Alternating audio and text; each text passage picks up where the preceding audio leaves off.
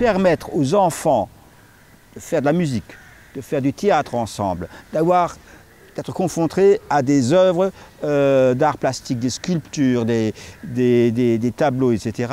Ça, ça permet aux enfants de se construire. Et de se construire dans la tolérance et le respect de l'autre. Je dis toujours, on est mieux à Bichelac qu'à Ilkirch. Je suis plus vite au centre-ville de Strasbourg en partant de Bichelac qu'en partant d'Ilkirch. Combien de temps à peu près de, Un quart d'heure, 16 minutes. Les meilleures 16 minutes. C'est-à-dire qu'il y, qu y, a des trains qui font Bichuler-Strasbourg sans aucun arrêt, en ligne directe. Le déploiement du réseau de chaleur. Le déploiement du réseau de chaleur nous permet de sortir de cette spirale inflationniste d'augmentation des coûts euh, de, l'énergie, puisque le contrat a été négocié qui nous permet d'avoir une stabilité du prix de l'énergie, donc thermique, bien entendu, de l'énergie sur le, le, long terme, avec des hausses limitées à 1,5% par, euh, par an.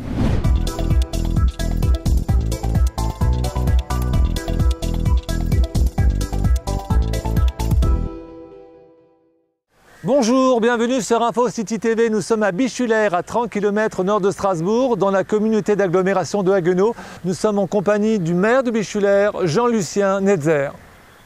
Bonjour monsieur le maire. Bonjour monsieur Gare. Où sommes-nous pour euh, réaliser cette interview? Bien, Nous sommes ici sur la trame verte qui est en plein centre-ville de Bichulaire, qui traverse la ville à partir, je dirais, de, l'ancien site euh, Vestra euh, jusque pratiquement au rond-point d'Oberhofen, c'est-à-dire en face euh, du Zolenhof.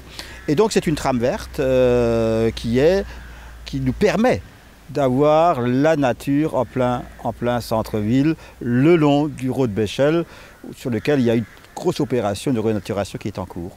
Première euh, question, monsieur le maire, l'actualité dans le magazine municipal Envie, vous évoquez les conséquences de l'inflation pour les concitoyens, notamment l'augmentation des coûts de l'énergie. Euh, Cette inflation a-t-elle également des conséquences sur le budget d'une ville comme Bichulaire Bien sûr qu'il y a des conséquences. Alors, je crois qu'il faut replacer les choses dans leur contexte avant de, de rentrer sur ce point particulier et, et précis. Qu'est-ce que c'est? Euh, L'inflation, c'est une augmentation généralisée et sur le long terme des, des prix. Dans quelle situation sommes-nous aujourd'hui? Aujourd'hui, nous sommes dans une augmentation des prix sur la dernière année très importante qui dans certains secteurs avoisine les 10, 15, 20, 30, 30%, euh, qui est dû à quoi? Qui est dû, bien entendu, la sortie de la crise du Covid, premier effet qui était inflationniste, et un deuxième effet qui est la guerre en Ukraine avec toutes les conséquences que ça a eu sur euh, l'augmentation de, de, l'énergie. Et aujourd'hui, ben, euh, la vraie question, c'est que cette augmentation du coût de l'énergie se répercute sur l'ensemble des, des, des, prix. Et pourtant, et pourtant nous n'avons pas d'augmentation de, de, salaire. Je tiens à le dire que moi j'ai pris très vite en considération les faits. L'année dernière, j'ai pris la décision d'augmenter de l'ordre de 15% la rémunération en moyenne euh, du personnel de la, ville pour faire face justement à cet effet euh, d'augmentation d'augmentation des, des, prix. Donc ça, c'était une, un vrai enjeu. Le deuxième enjeu, c'était bien entendu euh, toutes les questions qui sont relatives à la consommation énergétique et à l'augmentation du prix de l'énergie dans une ville comme Bichwiller. Ça, se calcule aux environs de 600 à 1 million, à, à 1 million, à 1 million d'euros. Sachant que ben, nous n'avons pas attendu justement le révélateur de qui, est l'inflation ou qui est le coût, le coût de l'énergie pour engager un certain nombre de, mesures qui étaient déjà engagées avant. Par exemple, le déploiement du réseau de chaleur. Le déploiement du réseau de chaleur nous permet de sortir de cette spirale inflationniste d'augmentation des coûts euh, de, l'énergie puisque le contrat a été négocié qui nous permet d'avoir une stabilité du prix de l'énergie, donc thermique, bien entendu, de l'énergie sur le, le, long terme avec des hausses limitées à 1,5% par, euh, par an. Pourquoi est-ce qu'on avait engagé ce projet? C'était beaucoup plus un projet euh, respectueux de l'environnement puisque nous sommes en 96% de NR pour alimenter ce réseau de chaleur en biomasse. Donc, euh, Et, ça, c'était un, point extrêmement important. Et ça avait été engagé bien avant euh, l'augmentation des, prix de l'énergie. Donc ça, ça nous permet d'économiser. Premièrement, économie, stabilité des prix, donc sortir de la spirale, euh, de la spirale inflationniste. Concrètement, quels bâtiments à seront alimentés par ce réseau de chaleur? Pratiquement tous les bâtiments publics déjà tous les bâtiments publics euh, seront raccordés. Ça part, alors si, je prends un, peu, le plan, ça part du lycée, où est installé juste à côté euh, la centrale. Après, il y a tous les équipements publics, c'est-à-dire la MAC, la piscine, euh, le, gymnase, le deuxième lycée, le, le CASF, l'école Erlenberg. Après, nous aurons un raccordement sur euh, Judixel, la future résidence senior qui se trouve dans le même quartier. Après on descend, on va sur le, le, le diaconat. On continue, ainsi de suite, on passe par la mairie, on, va sur euh, le CHDB, les établissements hospitaliers de Bichwiller, on remonte vers la médiathèque. Donc pratiquement, aujourd'hui, c'est un réseau qui fait 12 km. Donc aujourd'hui, tous les bâtiments publics vont être raccordés à ce, à ce réseau, plus pratiquement tous les bailleurs collectifs se raccordent sur le réseau.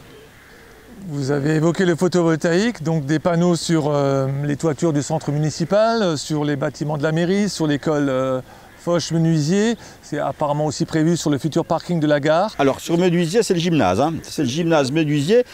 Nous avons aussi euh, donc sur la mairie, ce qui est prévu, et sur la piscine. Aujourd'hui, le projet qui est le plus abouti, c'est celui-là de la mairie sur le gymnase et sur la piscine, nous devons encore faire des études de structure parce que, évidemment, on rajoute du poids sur le toit. Est-ce que les charpentes et la structure du bâtiment permettent d'accueillir euh, ces, panneaux, ces panneaux photovoltaïques? Ces panneaux photovoltaïques, le réseau de chaleur, est-ce que ça aura une influence euh, concrète, sensible sur, euh, sur le, vos dépenses d'énergie? Bien sûr, parce que l'objectif, c'est d'arriver à une quasi-autonomie énergétique des, bâtiments. Si on regarde le centre technique, il va, il va travailler quand? Il travaille en général aux heures de jour, pas la nuit. Donc c'est le moment où on a euh, un apport énergétique important euh, par les panneaux photovoltaïques. Et donc l'objectif c'est d'arriver pratiquement à une autonomie énergétique, bon, on y arrivera, il faut voir, et de revendre le surplus s'il y en a. L'énergie, c'est de la production, mais c'est aussi peut-être des économies. Est-ce que vous avez dû, vous avez fait des économies d'énergie à, à Pouvez-vous nous donner quelques exemples? Nous avons tout un programme d'économie d'énergie, là aussi qui a été entamé déjà avant cette crise euh, inflationniste sur, euh, sur l'énergie dont vous parliez, dont vous parliez avant. C'était pour nous un enjeu majeur. Vous savez, aujourd'hui, pour maire, pour, euh, je dirais, toute la politique publique, il y a deux enjeux essentiels. C'est l'eau, en termes de quantité et de qualité, et c'est, et c'est l'énergie. Et ça, nous l'avions déjà perçu, je dirais, il y a 3-4 ans en, arrière, et nous avons dit, ben, il faut absolument que nous arrivions à prioriser nos actions dans ce domaine-là. Et c'est avec euh, la Banque des Territoires, enfin, ex-Caisse des dépôts, que nous avons mis en place un programme autour de ce qu'on appelle l'intracting, qui a fait euh, un diagnostic de l'ensemble des bâtiments de la ville et tout un programme, programme d'action.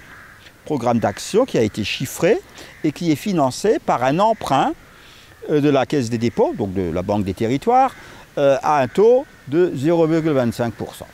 Donc ça veut dire qu'aujourd'hui, bah, toute l'économie que nous faisons nous permet largement de financer le remboursement de, l'emprunt, voire même, je dirais, à faire euh, une forme de bénéfice. Le temps de retour était prévu sur 13 euh, euh, ans au départ. Bah, là, avec l'augmentation du coût de l'énergie, on va être à 8-9 ans.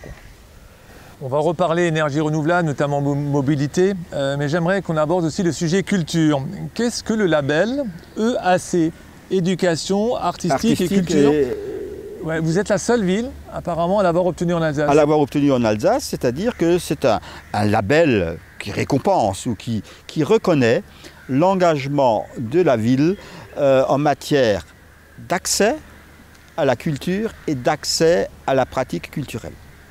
Là aussi, c'est des choses qui, qui, à la limite, ne s'inventent pas, mais qui répondent a des priorités profondes et a des convictions profondes que je partage avec l'ensemble de l'équipe euh, euh, municipale. Si on veut créer de la cohésion dans la cité, à notre sens, elle ne peut se faire qu'autour, je dirais, de deux métiers porteurs. C'est la culture et c'est, et c'est le sport. Bien vivre ensemble, c'est par la culture, par le sport, par l'intégration des valeurs, par l'intégration d'un certain nombre de concepts, d'idées euh, philosophiques qui sont véhiculés par la culture, par l'intégration du respect, par l'intégration de la, de la tolérance, la reconnaissance de la diversité culturelle qui peut exister sur un territoire. Ça, pour nous, c'était une conviction profonde. Permettre aux enfants de faire de la musique, de faire du théâtre ensemble, d'avoir d'être confrontés à des œuvres euh, d'art plastique, des sculptures, des, des, des, tableaux, etc. Ça, ça permet aux enfants de se construire. Et de se construire dans la tolérance et le respect de l'autre. Donc vous, vous, cherchez à travers le sport et la culture à véhiculer certaines valeurs. Vous avez, ce n'est pas uniquement l'apprentissage d'un instrument ou, ou, la, ou, la, pratique d'un sport, c'est beaucoup plus profond. Euh, vous avez 30 nationalités à Bichulaire, vous avez gros, oui, plusieurs communautés religieuses. Oui. Euh, Doit-on déduire que l'intégration ne se fait pas tout seul, euh, qu'il est utile de la provoquer, de l'accompagner subtilement au quotidien et que c'est finalement l'élu local, le maire, qui est peut-être le mieux placé pour agir de façon concrète? C'est une question qui parle, je dirais, au plus profond de, chacun et peut-être bon, à la personne à qui vous l'adressez. Je suis attaché à deux idées, la laïcité et la tolérance. Donc tout d'abord la laïcité. La laïcité, c'est avant tout le respect. Le respect de l'autre dans ses convictions et dans sa, dans sa pratique, dans sa pratique religieuse. Euh, dès 2014, nous nous sommes réunis euh, pratiquement toutes les six semaines à peu près, dans euh, la constitution d'un groupe euh, interreligieux, de dialogue interreligieux. Euh, après, il y a eu l'épisode Covid, on a relancé un peu l'année dernière à travers une déambulation dans la ville, à travers tous les édifices religieux où chacun pouvait exprimer et expliquer le fond ou les raisons de, de, chaque élément de culte qui se trouvait dans l'édifice.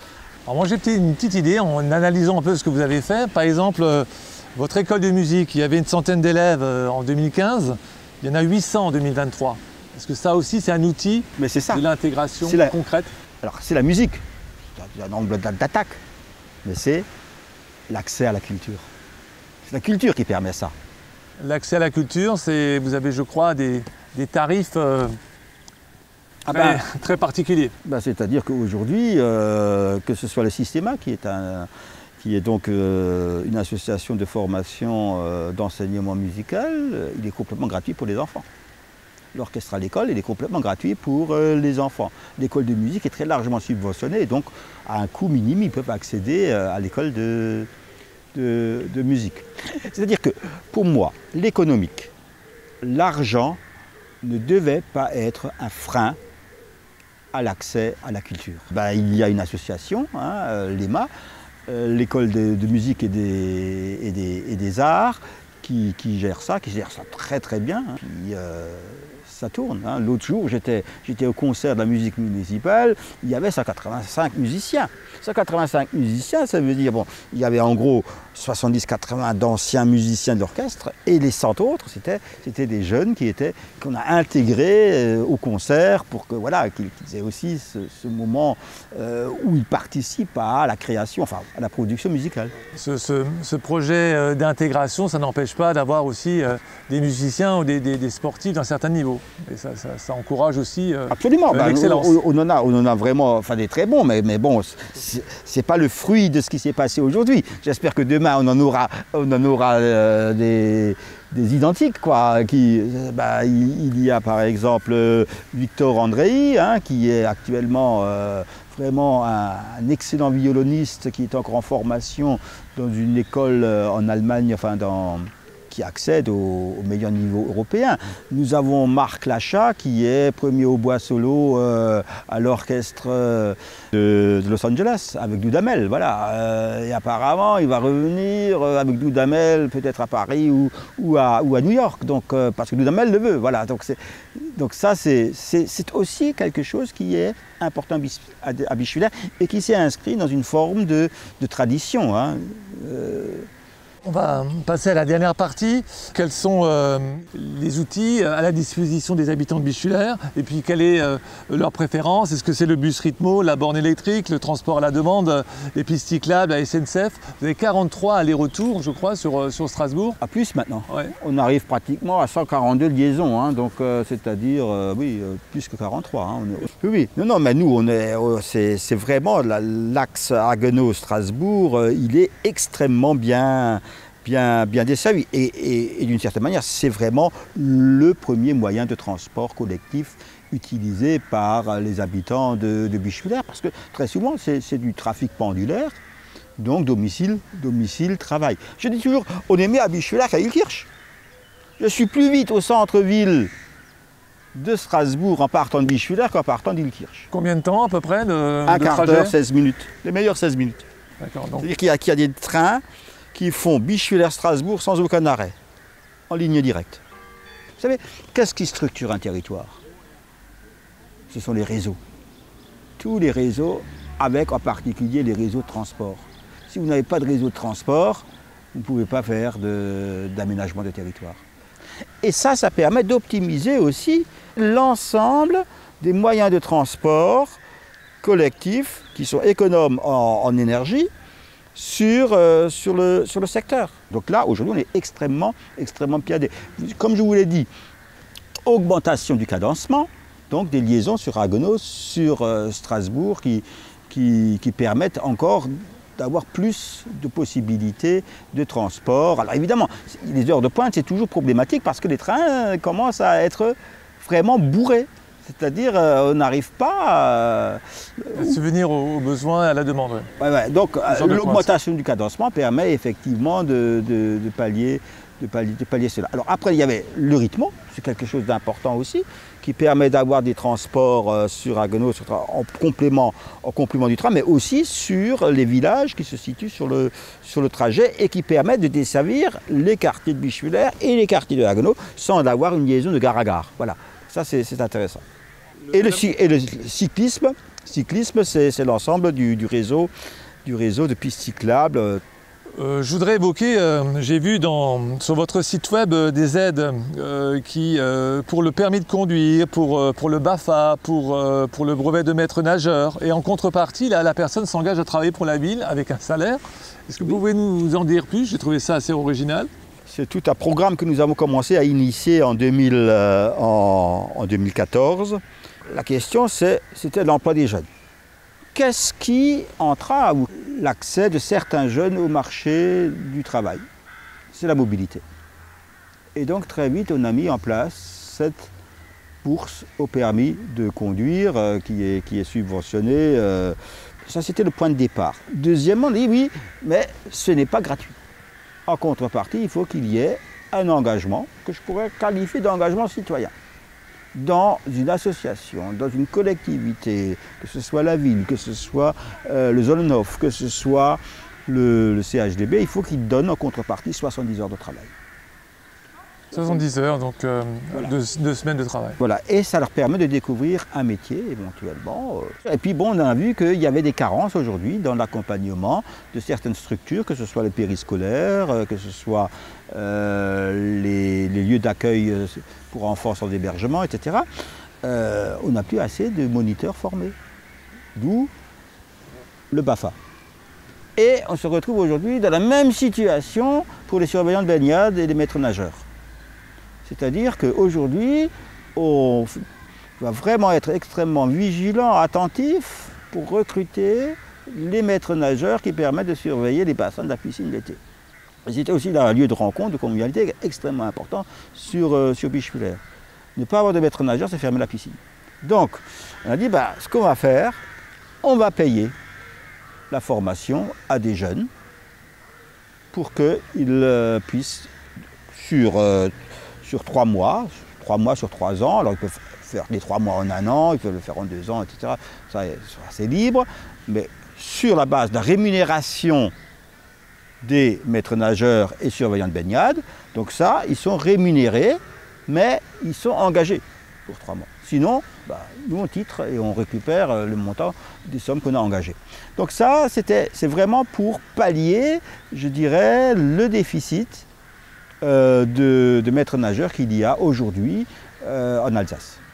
En matière de construction, vous avez un grand projet dont on entend parler, c'est quand même un projet de 800 logements, le ZAC du Baumgarten, par l'entreprise publique la, CERS. Oui, Alors ce grand projet est-il cohérent avec euh, l'écologie, la protection de l'environnement? Est-ce qu'il n'est pas surdimensionné? Vous savez très bien qu'en France aujourd'hui, nous avons un besoin de l'équivalent de 500 000 logements par an.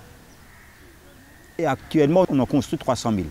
La question aujourd'hui, c'est maintenant, il faut mettre des, maisons, des, immeubles, enfin, il faut offrir les logements sur, cette, euh, sur cet espace. Là, aujourd'hui, il y a actuellement une frilosité des porteurs de, projets. Mais ça, à mon avis, c'est conjoncturel et, ça, va, ça va se résorber euh, à, court terme. On avait encore une réunion avec la CERS sur cette, euh, sur cette question-là.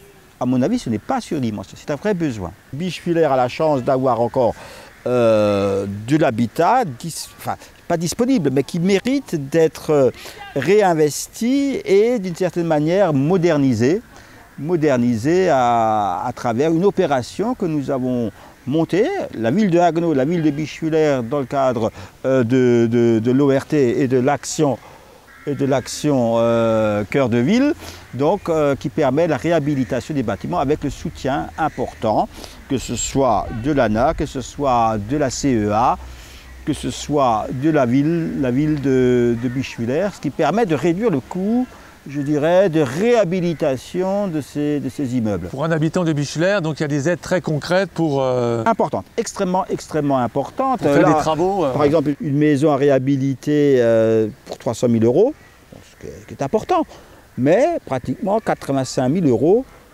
d'aide. D'aides qui sont, qui sont données. Donc ça, ça aurait dit sérieusement le coût au mètre carré. Hein. Avant, dernière question, on vous évoquait les jeunes, on va évoquer les anciens aussi, nos anciens. Vous avez un projet euh, de bâtiment pour les seniors avec handicap, vous avez le plan canicule, vous, avez, vous organisez une enquête en ce moment sur euh, quitter son, logement sans quitter sa commune. Est-ce un poste important, Bichulaire, euh, celui de, soutien des personnes âgées?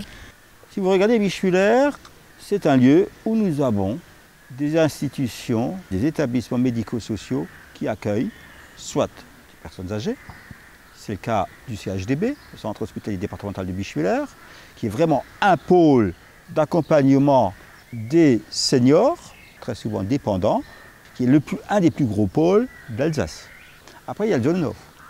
Le Zolnov, c'est l'accompagnement du handicap. Et aujourd'hui, on a aussi des personnes handicapées qui vieillissent. Et puis, il y a, encore une fois, des établissements, des EHPAD, qui accueillent des personnes âgées on ne trouve plus aujourd'hui des ressources humaines qui permettent d'avoir un encadrement euh, optimal de ces maisons d'accueil des personnes handicapées, euh, âgées et handicapées, dépendantes. Ça, c'est aujourd'hui un vrai problème. Parce que sur Bichuler, nous avons plus de 20 postes d'infirmières qui sont ouverts, qui ne sont pas pourvus. Et nous ne trouvons pas. Si je vais sur l'Alsace du Nord, c'est une centaine. Si je vais sur les us, c'est 200. Donc il y a aujourd'hui un déficit extrêmement clair en matière de, euh, de profession euh, paramédicale et médicale. Euh, donc un déficit d'entrée sur ces, ces professions.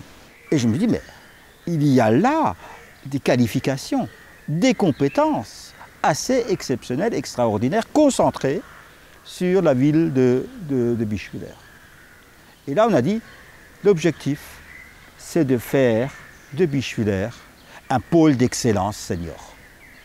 Pôle d'excellence, c'est-à-dire que l'intérêt, c'est de réussir à fédérer l'ensemble de ces établissements, de ces compétences qui peuvent être médicales, médico-sociales et autres, pour accompagner au mieux les parcours, les parcours de vie des personnes âgées sur, sur la ville.